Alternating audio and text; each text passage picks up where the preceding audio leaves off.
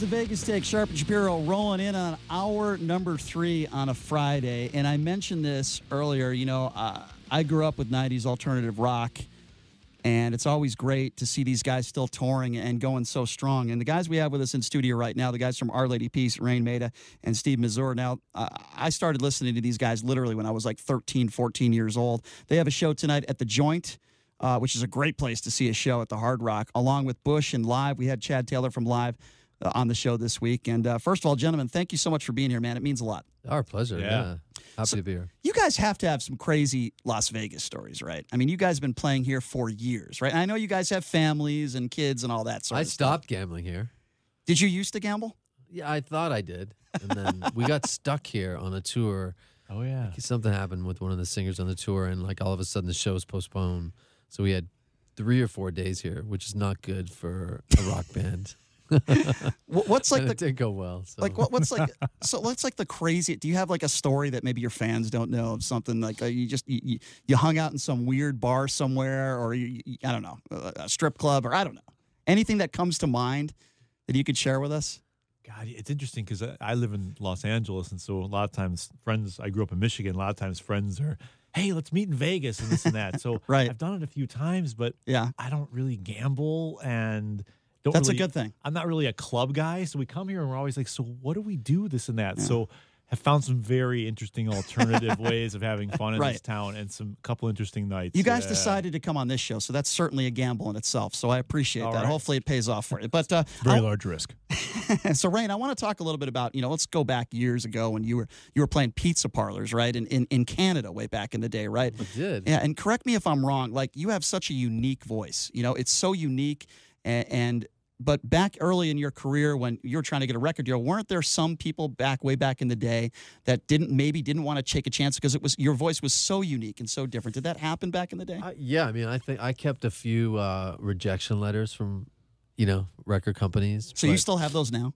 I do. I, I think my mom, my mom's got them in a box somewhere. That's awesome. um, yeah, you know what? I think we were just kind of after the the '90s grunge thing happened, and Mm-hmm. it was it was definitely. I think I was influenced by singers like Bjork and Tori Amos and Mike Patton. Mm. You know, um, and I don't know if that was like what was on point right then when we were getting a record deal, but luckily Sony kind of took a bit of a chance, and I mean a bit of a chance. We didn't get any kind of big record deal.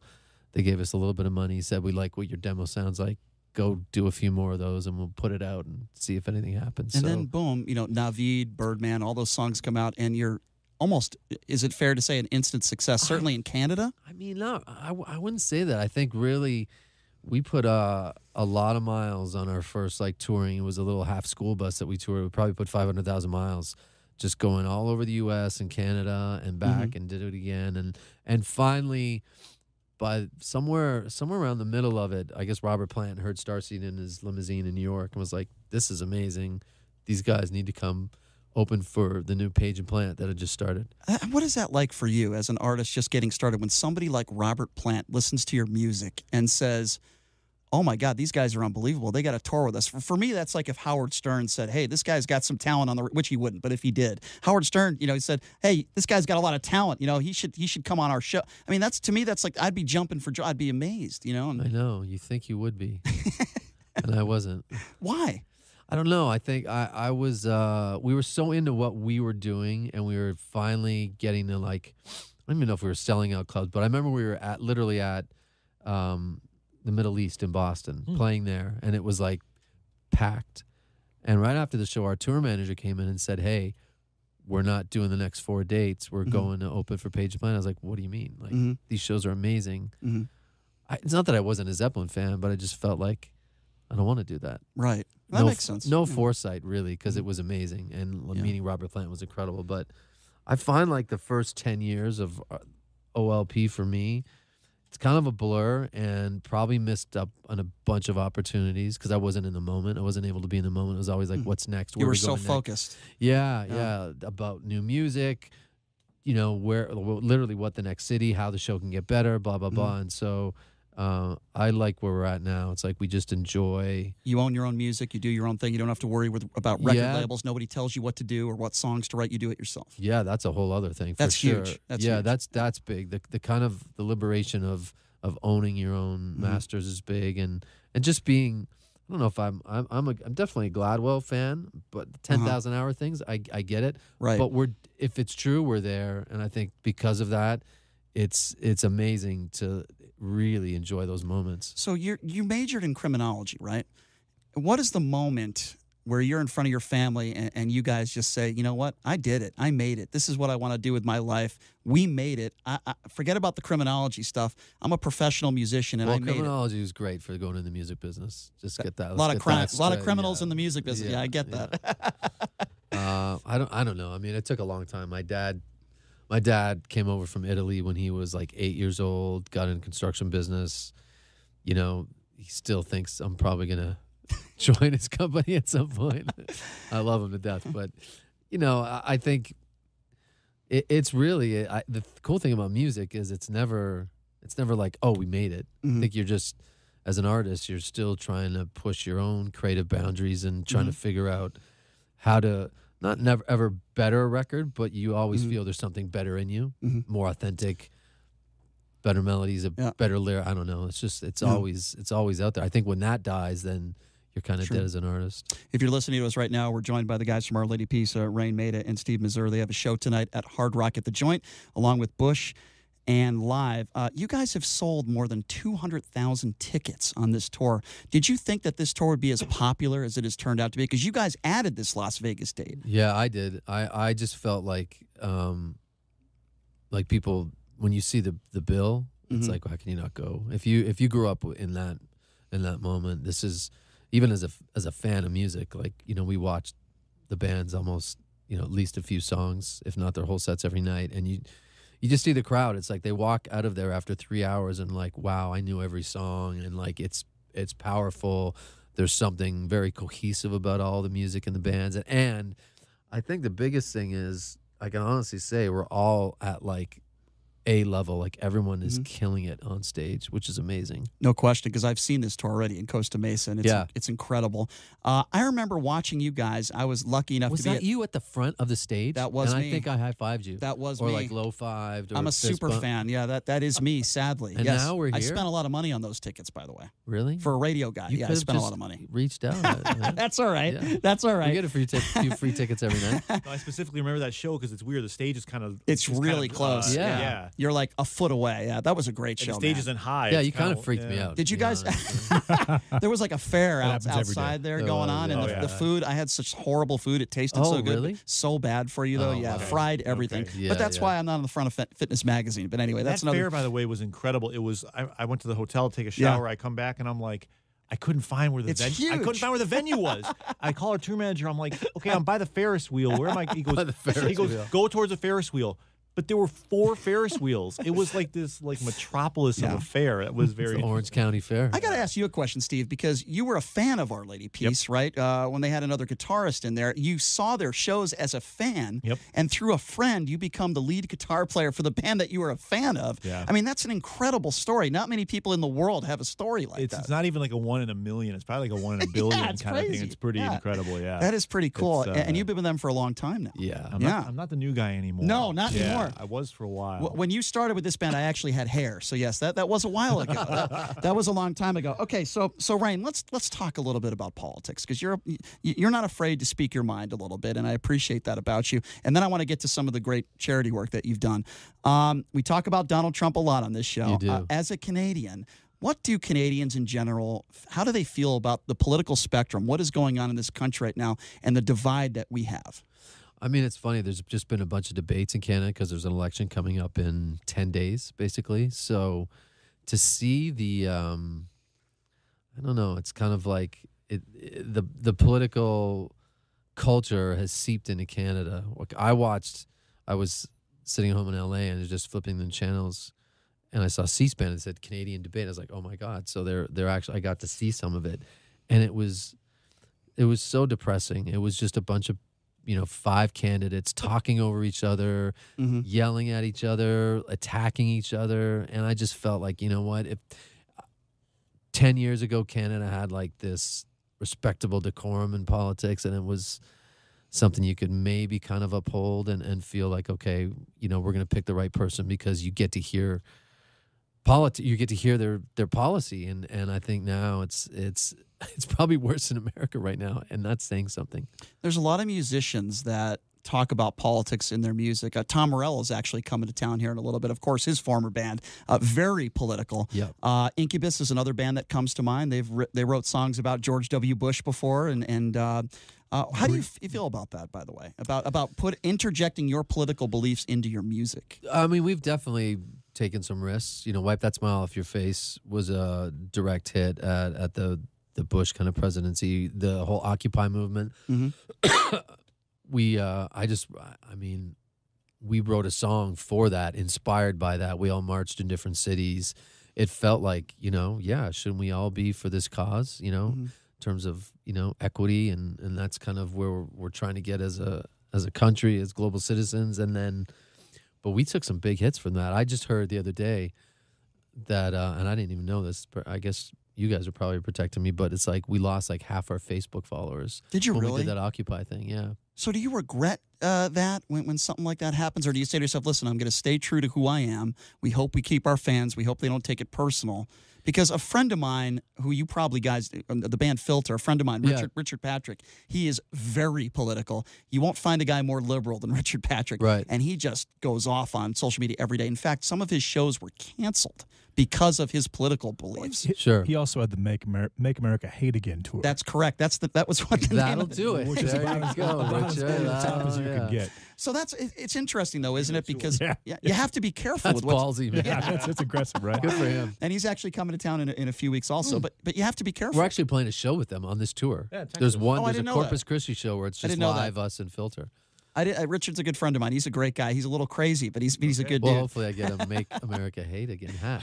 I, I was gonna I was gonna buy him some Donald Trump toilet paper uh, as a gift when I see him in a few weeks. I think I think he would enjoy I that. think that's a great Look, idea. you know, the thing with politics is I think the it's not it's not even politics. The problem is if you follow this trail of breadcrumbs back to I don't know, probably um, Paris Hilton. Mhm. Like that's when when reality TV started and we started making these people famous. Mhm.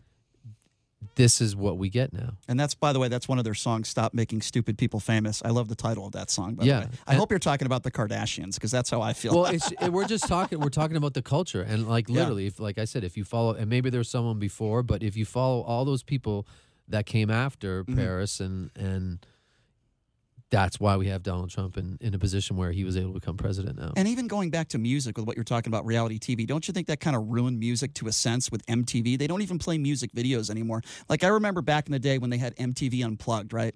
Uh, live, the band you're touring with now, their Unplugged was insane. It was unbelievable. And I love it when you guys play acoustic too, because I think, you know, you can really see how talented a band is when, when they can play a hard rock song and play it acoustic. But, you know, they went to the Carson Daly era or the Paris Hilton era of Yeah. reality TV. What the hell's going on? I don't even watch MTV anymore. That I remember the good old days in the '90s when grunge rock was all over MTV. And Matt Pinfield is that his name? The 120 minute show. Yeah. You guys Yeah, were yeah. probably on that show. I mean, Love Matt. yeah. I mean, what happened to alternative rock? You know, i- i- in that sense, where it just uh, isn't played mainstream on MTV anymore at all.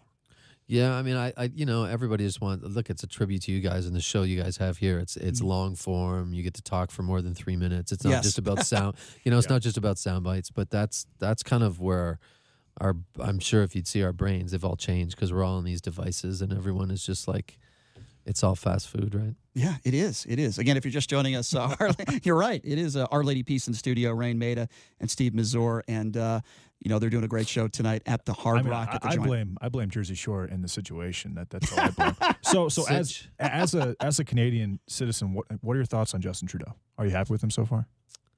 Yeah, I mean, I think you know, I, I'm I'm definitely lean that way. Um, I think there's been um, huge progress in terms of, you know, it's funny. I always judge it by it's like when someone takes a picture in the whatever the Oval Office or where the you know uh, I don't know what's called in Canada. It's embarrassing, but like when you when you see the people that are making the policy with Justin, it's been like, oh, now there's like diversity. There's more women in in in uh, in the in the in the government now, and I think that alone, if that's all he did, that that's like that's progress, right? That's that's huge progress. So, um, not to get into the minutia of his policy, which I'm probably not the best person to do, but there has been a you know there's been a lot of of, of important policy that he that he's pushed through.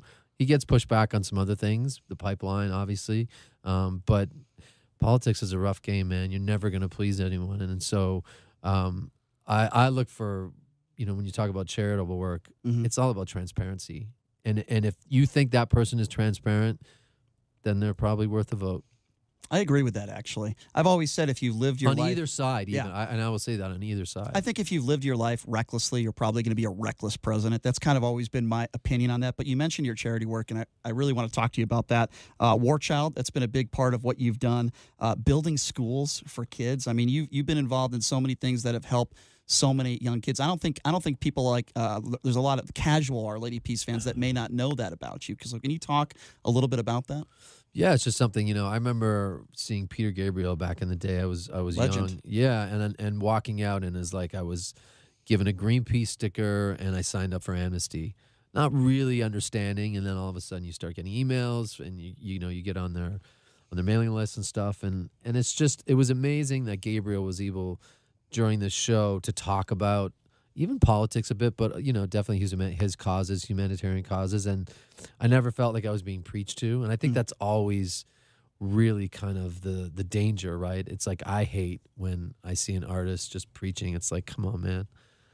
I've probably been that ass many times in my life, but you just try to walk that fence and end up on the right side, and um, you know, being earnest it comes with that danger, I guess. But at the end of the day, it really is. It's like I said, when we were able to to meet the founders of War Child, literally see like where and track where every penny went, and I felt that was that was pretty amazing. And the first trip we took to Iraq, I remember driving in from Jordan, and we saw all these incredible, beautiful white Range Rovers, and so you start learning about the business of charity, mm. really, right? And it was you know, they make so much money, they spend so much money on marketing, like 50, 60%. percent Mhm. And that means everyone gets new trucks, everyone gets new computers. And I'm sure it's changed a little bit since Wow. then. But um, with War Child, it was always about no, like 98 cents of every dollar is going to a program. And, And I that's so really respected that. Isn't that so important, Raine? Because you know, I, at least the way I feel with some charities, you don't know. You mentioned You don't know. You every can't track cent. it. Where's Yeah. every cent going?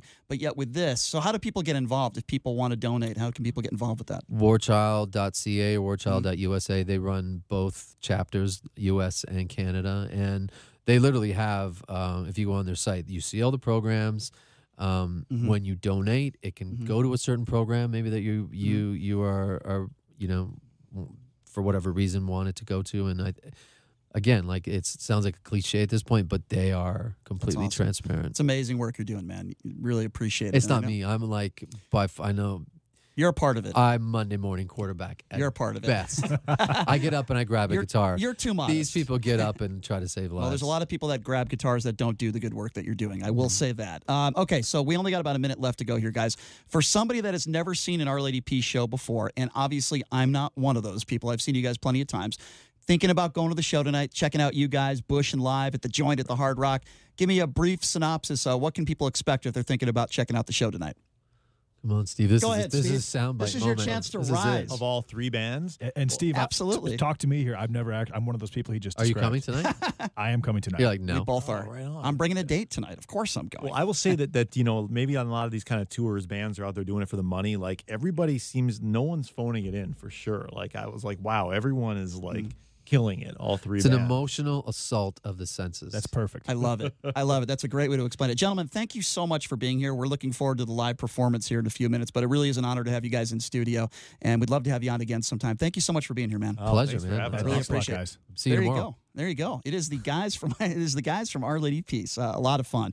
All right, so uh, we're going to take a quick break, and uh, when we come back, we're going to be uh, replaying a segment. If you missed it, uh, a poker scandal that is all over the world right now, a cheating poker scandal, and we're going to have Matt Berkey, who's a specialist, talk about this when we come back. All right, we'll take a quick break. Be back right after this. You are listening to the Vegas Take right here on the all new 101.5 FM, 720 AM, K Dawn. This is the Vegas Take with Sharp and Shapiro. Come on, guys!